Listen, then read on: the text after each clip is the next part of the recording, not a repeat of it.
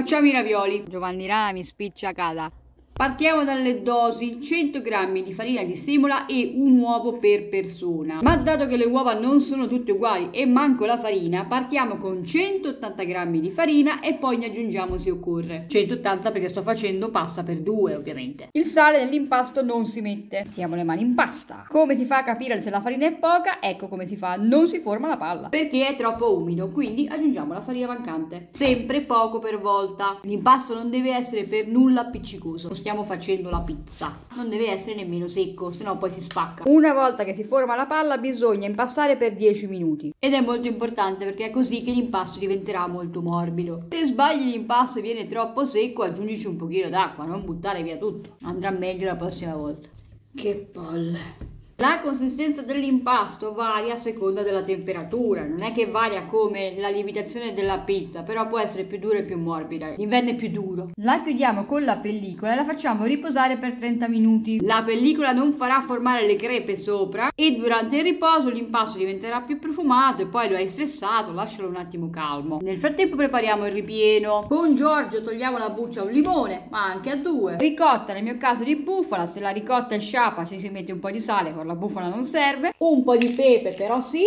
Non bisogna aggiungere latte, non bisogna aggiungere acqua. L'impasto deve essere bello solido. Dopo il riposo l'impasto sarà ancora più morbido, più profumato. Ora lo dividiamo in due parti. Due parti più o meno uguali. L'altra ritorna nella pellicola. Consiglio di dividere l'impasto in tante parti quante sono le persone che mangiano, ma per una questione di comodità. Siamo sicuri di non fare sfoglie chilometriche così. Sono più facili da lavorare. Macchina della pasta, ognuno ha la sua. Non posso consigliarvi uno spessore perché ognuna è diversa. Si passa dal buco più largo per la prima volta. Facciamo passare più volte l'impasto ripiegandolo su se stesso finché otteniamo un quadrato, un rettangolo, qualcosa di uniforme. A questo punto alziamo un numerino per volta e la facciamo diventare sempre più sottile. Importante, non bisogna toccare la sfoglia con la punta delle dita perché si potrebbe bucare, quindi dorso della mano sia nell'entrata che in qualche modo nell'uscita. Certo, essere visnu potrebbe aiutare. Ecco la nostra sfoglia che dobbiamo appoggiare su pan grattato o farina di semola. No farina 00 perché sennò se la ciuccia. Io uso pan grattato perché mi costa di meno. Tu usa quello che vuoi. Se la semola ti costa poco, usa la semola. Faccio anche la seconda sfoglia e poi ci occupiamo del ripieno. Piega a metà una delle sfoglie e fai un segnetto.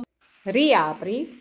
Tac Qui c'è il segnetto, da questa parte metteremo il ripieno e poi questa la piegheremo su se stessa. Pallette più o meno tutte uguali, ben distanziate sia dai bordi che tra loro. Tac.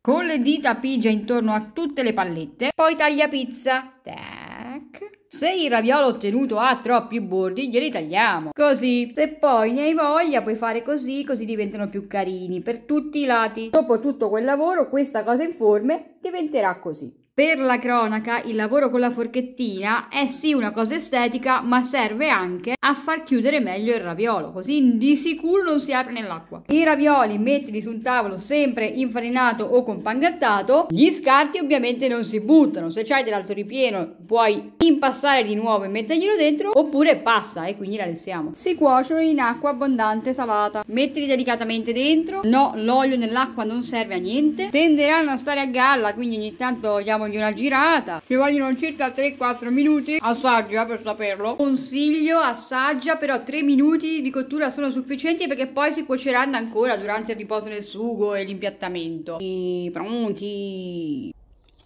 Eccone uno. Eh, eh, eh. altro che Giovanni Rana